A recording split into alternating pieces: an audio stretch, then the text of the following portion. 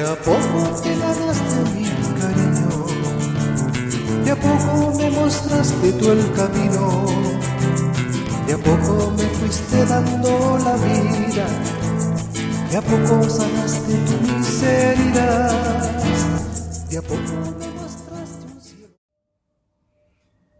Hartos, bastantes, una multitud me dijo la persona de gozo, eh, y que hemos visto cuánto, dos, tres, cuatro, cinco, ¿ah? cuando son miles de, de, exacto, todo lo que tú puedes hacer es un fruto, ¿ya? ¿Cuántos frutos hay? Nombramos fruta, manzana, pera, uva, uh, ta, ta, ta, sandía, melón. hay frutas grandes, frutas chicas, de todos los portes. Acá también los frutos nuestros, frutos muy grandes, frutos chiquititos, ¿ya? Ni se ve.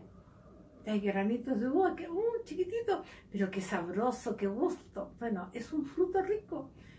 Tú también nunca des por nada, que no tan chiquitito, no, sino que voy a ir a, a, a decirle, a darle un vasito de agua si no tengo nada más con amor, vale más que a lo mejor un jarrón de vino así, toma, ya, un vasito chiquitito, pero con amor.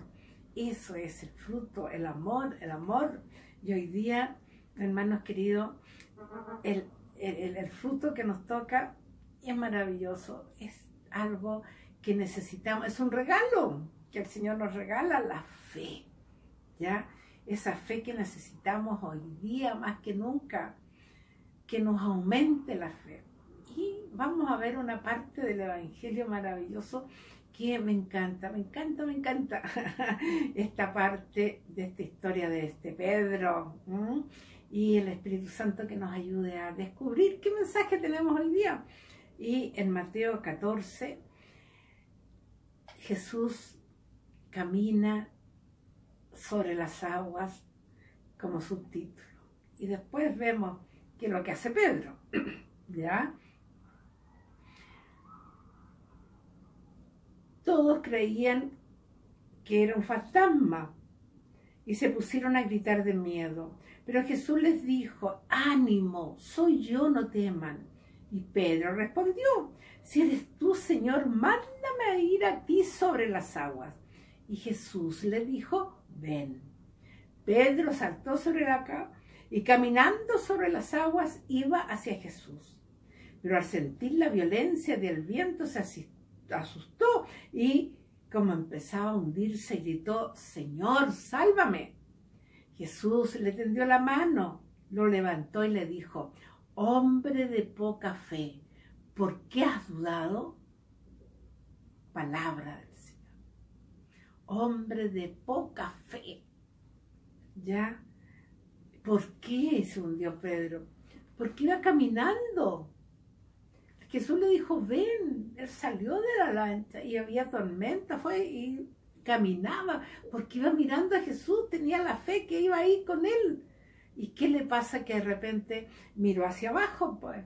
Ya, y se dio cuenta dónde andaba, y sabía que no podía hacerlo, y se hunde. Pero, pero, ahí tienes a manitos, Jesús, sálvame y que el Señor está al lado nuestro esperando ese, esa manito que le pidamos, lo salva, pero le dice, hombre, poca fe, ¿por qué dudaste? Deberías haber seguido caminando mirándome a mí y habías llegado hasta el final, allá a la tierra firme. Pero dudó, le faltó la fe en el Señor. Así que hermanos queridos, tú y yo podemos andar no sobre las aguas a lo mejor, pero sí sobre los inconvenientes, sobre las tormentas de la vida. Ya podemos sobre el sufrimiento, las desilusiones, las enfermedades, esas son tormentas de la vida que si yo se las entrego y estoy con el Señor voy a salir adelante y no me voy a hundir. Pero si no, y miro y me desespero, me hundo. Y viene la desesperación, viene el vicio, viene el suicidio. Así que hermanos, hoy día digámosle, Señor, aumenta, aumenta mi fe.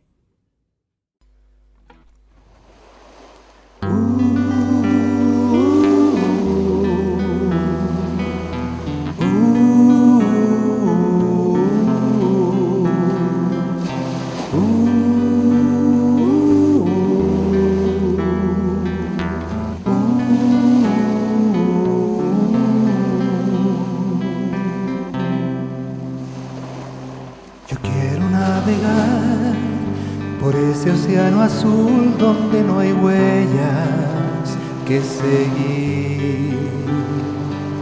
Me quiero adentrar en ese ancho mar donde hay almas que pescar. No temeré la tormenta ni el viento, pues sé que tú vas junto a mí. Aunque la noche sea oscura y profunda, tu luz me guiará.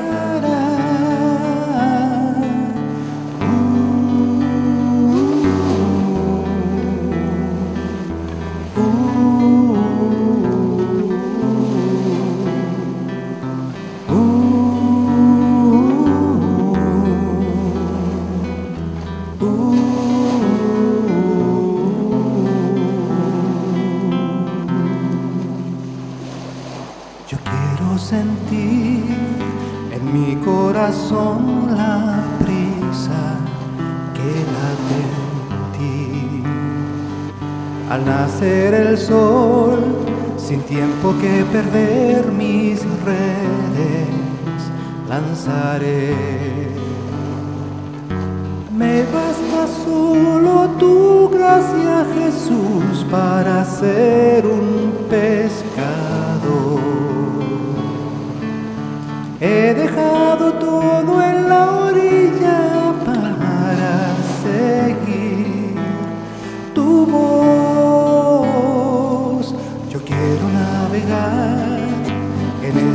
Océano azul donde no hay huellas